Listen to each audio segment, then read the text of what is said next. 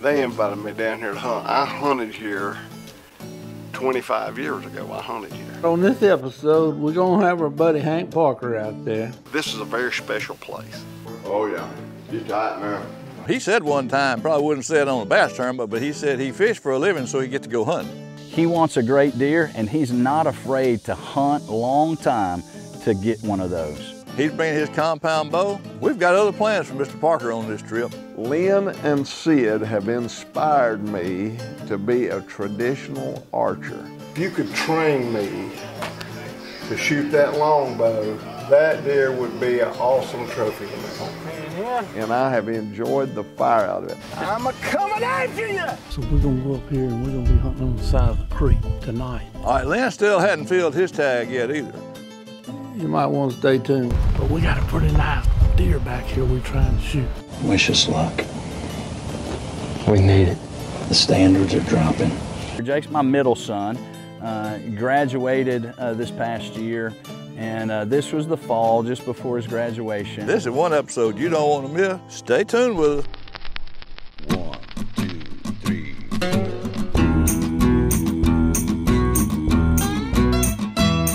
Love God, spend time with your family. Be kind, uphold the law. Or a few things you can do to be like Paul. Oh, we ain't got a little fight to it this morning. Go to work, go to church, keep your word, that's all she wrote.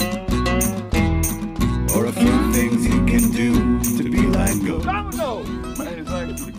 If you wanna be like Rev, get in the word when you awake. Listen, keep your faith. Jesus right along every step you take.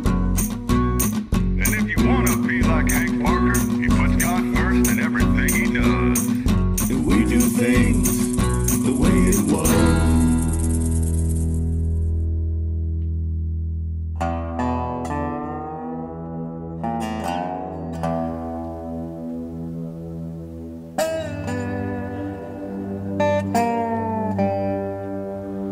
Oh, we back in Kansas and Goat, he he done killed him a, a big old deer and Rev got him a deer and they're using the muzzle loaders. Well, I didn't use my muzzle loader this year. I didn't really have a deer big enough that I wanted to shoot with a muzzle loader. And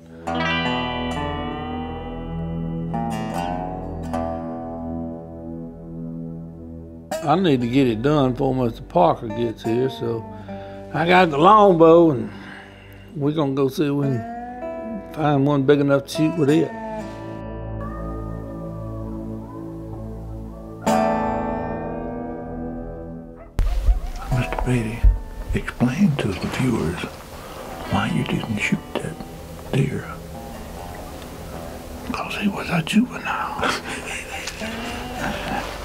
Hey, what you're going to see on this episode is you're going to see a period of about two weeks where these guys are grinding it out in Kansas, trying to get it done. Okay, me and me and Goat were back there hunting behind the house, and we'd had pictures of a lot of deer, but didn't have any really giant deer that was there. But we had some nice ones to shoot with a longbow, and these deer came in, and it was uh, it was a nice ten point. He's a really good deer for a, a longbow, and we just kind of had to be patient and kind of get him a little quartering away type shot. And,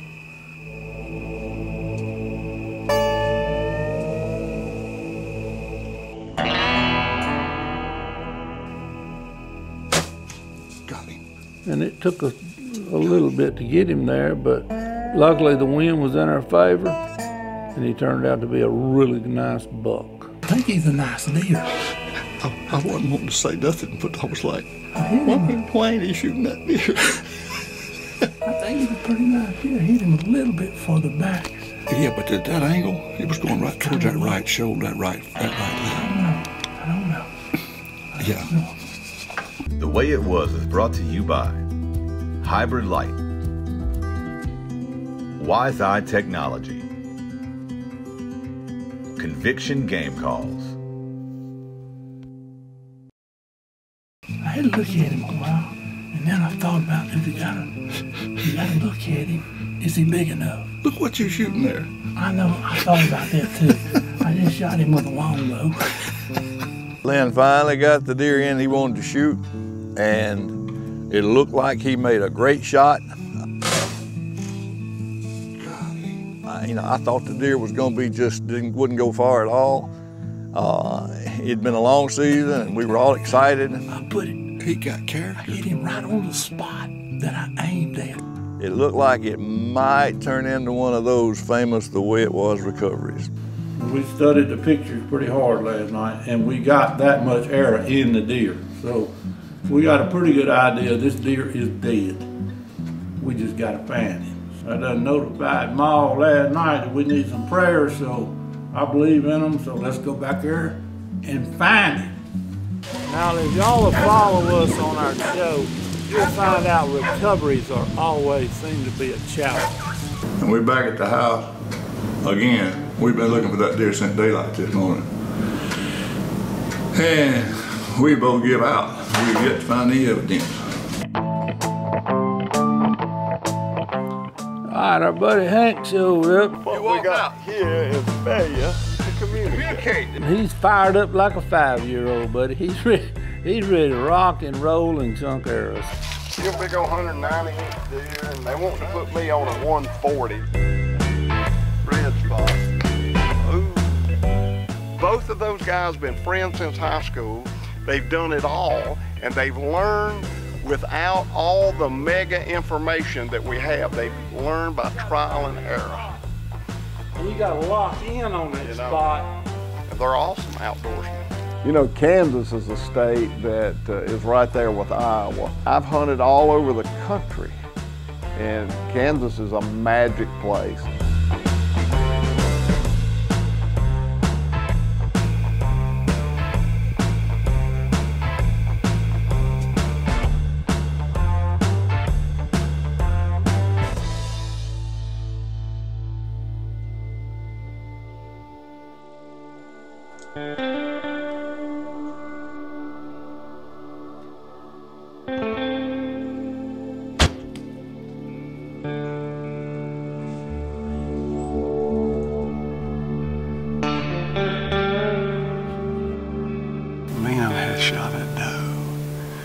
With his longbow.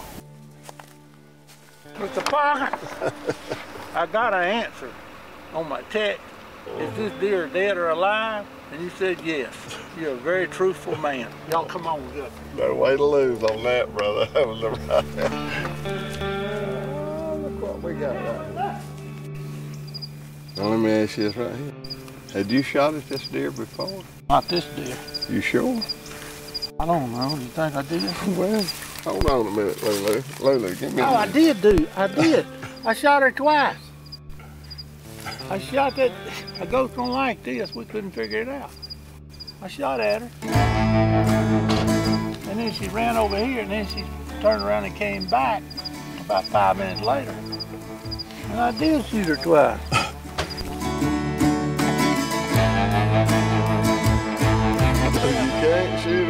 Her foot. You gotta hit her in some part of the body. Hey, y'all, come on in here. Hey, come in here, man. We got, we got, we got somebody real, really knows how to say blessing. All right, go ahead. You know how to say blessing? Uh, Paul's been very gracious to my boys. You gotta say blessing before you graduate. You know that. That's right. He's let both of my older sons, Jeb and Jake, to come for a graduation trip, and uh, this is Jake's graduation trip. Heavenly Father, thank you for this wonderful day. Pray that you bless this food we're about to eat. Thank you for Paul and Goat fixing it for us. Jake's got this huge heart. That made me realize that one thing in my life that is consistent is Jesus Christ. And that's the only thing in my life Um, he loves people. He's very tender. I pray that you be with us and help us all kill some big deer this week. Watching him grow up and uh, graduating and about to, you know, change a chapter in his life. And I pray that we just stay safe and healthy the rest of the week. In your name we pray. Amen. What's great about Jake is um, he's got a heart for Jesus.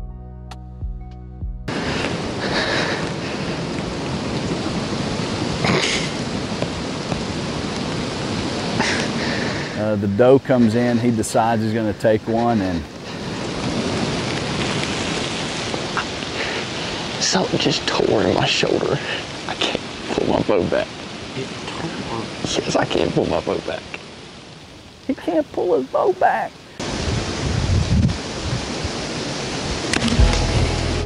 and the cold did a beating on my shoulder joint. We tried a couple times and finally got the bow back. That's a domino right there. What? Domino! You know, some days you just have to really work on not getting aggravated.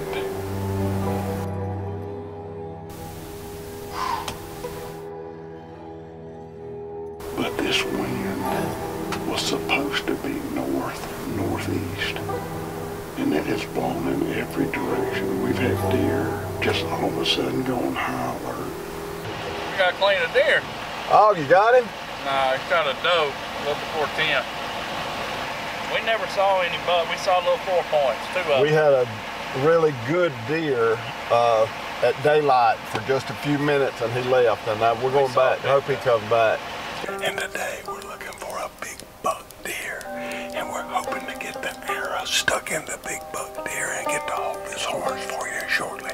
So you stay tuned and see if we pull it off. It's gonna be suspenseful.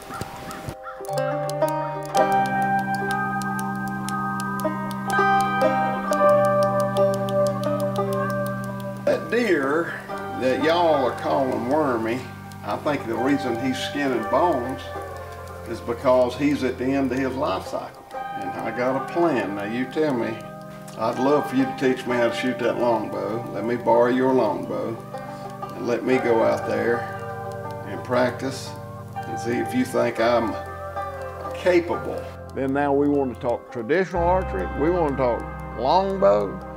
Wow, now that is a challenge. That's beyond over the top. I shoot mine with the top feather in. That's what we're going. That's what I'm gonna shoot mine. If, if it was gonna happen, I guarantee you the man I would bet on would be Hank Parker. Just look at that spot on that deer. Uh huh. Dead deer. And you're just putting a little pressure To on hold that air in place. And that'll hold your air in place. That's a good shot. That's a pretty good group. Now let's start it all over again. Gotta sit down. Sit down. This is him. He's standing there. This is do or die. Pressure's on. Killing shot.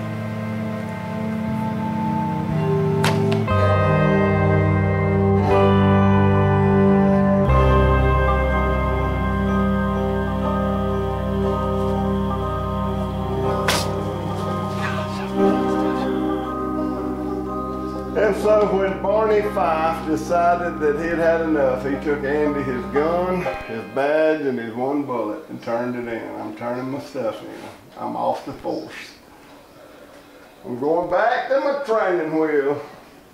No. Oh yeah. No, no. Oh yeah. People say you gotta be able to laugh at yourself. Now let me explain something. If you're gonna shoot traditional archery, uh, be prepared to miss a lot.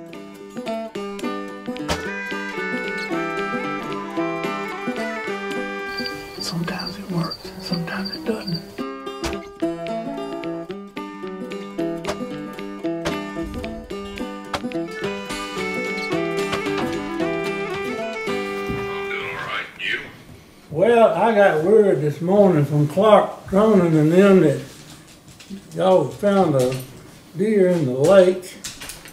And just so happened I shot one a week ago last Wednesday down here on the fence up on that north line. Okay, we back to the deer that I shot. I told y'all our recoveries are not normal. Well, we thought it was a good shot, but we never got any blood or nothing. Me and goats have some miraculous recoveries sometimes. Our recovery is not walk out there normally and find an animal, but we're going to take you on a recovery of the deer that I shot. This recovery was not exactly the kind that we wanted. If you're bow hunting, you will not find every deer you've shot, but you have to put in the effort to go find that deer. Right, we just got home. I looked at my clock, and it said 2.15. I said, the rev, I'll be pulling in the driveway right now. All right, well, I just wanted to check and, and uh, make sure y'all made it in all right, Rev. We're home. I sure appreciate it. Okay, oh, oh, one Yes, other, sir. I did need to tell you one other thing. Uh, I just went down, we all loaded up, went down to protection and picked up them deer horns that I shot the last Wednesday. Nuh-uh. I'm gonna send you a picture of him. Where, who, how? He was, they found him at the lake. It was a bad feeling. We didn't get the meat. We didn't get to put our hands on him, you know, but um, at least he was able to, to say, I've got my deer. Here's my, I've got it tagged out for the year. Hate that we lost the meat, but sometimes that happens. Oh, Bo got good video on it. We can prove that this is the deer that was on video. It's beyond a shadow of a doubt. Hey, let me just say, get these both out of the way. Y'all get out, cover your ears up. Cover your ears. I don't want to hear. Uh, these guys have more fun deer hunting than anybody I've ever seen. They go out there and shoot a doe and kill a 172 and some change white-tailed deer with character like you won't believe with a longbow. Now I'm gonna tell you something nobody else will know. This is the scoop. They shot at a doe and missed him and went out and picked the arrow up. And the arrow they picked up, they killed it there with. Is that not crazy? How does that happen? But that is the truth. awesome, man. Now you see that? That is a dead deer. Twice, twice. We ready to go hunt. We ready.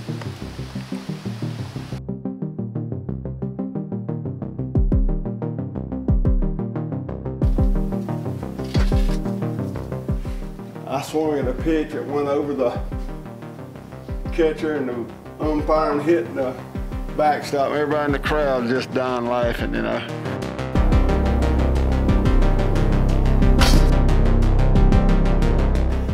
Right, I'm gonna make up for it. I'm gonna make up for it. Hey, right down the middle, son, and here it comes. I know the pitch, and right there, you're out of here. Oh, I missed it. It wasn't the teacher's fault. You can't make a silk purse out of a sow's ear.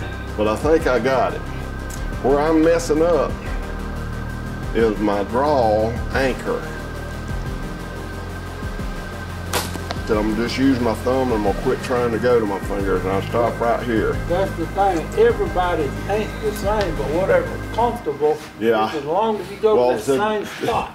Okay, I think Mr. Parker had a had a really good time with his longbow. He was not successful on this hunt. We had more fun. I, I've had a ball.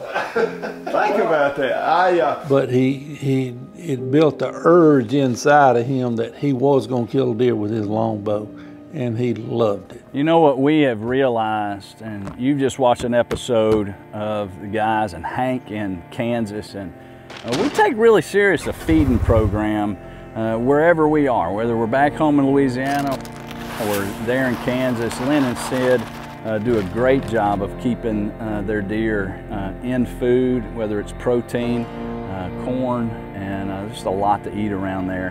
And you, you notice, you notice, especially the Midwestern deer who have the groceries, they just grow a little bit bigger. Um, and it's so important to feed um, and for your, your deer to get the, the right nutrients and to get the right protein. Well, you know, it's, it's like that too in our spiritual life. Listen what Jesus said. He said in John chapter 6, verse 35, He said, I'm the bread of life. Now, if you- you're reading all of the Gospel of John, you realize He has just done a miracle where He fed 5,000 men.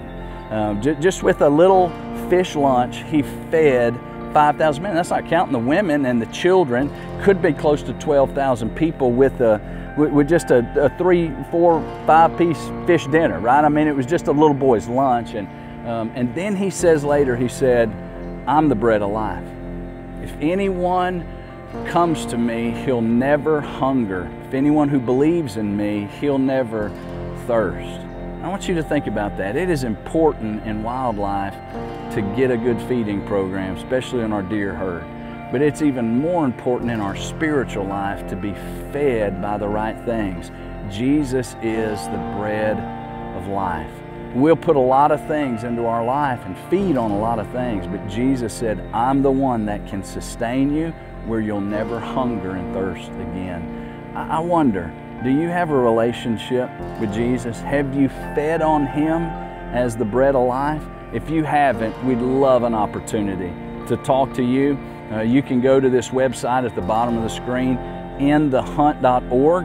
Um, and uh, on that website, it'll talk you through some things, ask you some questions, and you can even ask questions to counselors on a live chat format, spiritual questions that you might have had for a long, long time. We'd love a chance to connect with you. Hey, thanks again for watching The Way It Was. The Way It Was is brought to you by WTL Ministries, Swhacker, Three Rivers Archery, Monster Meal,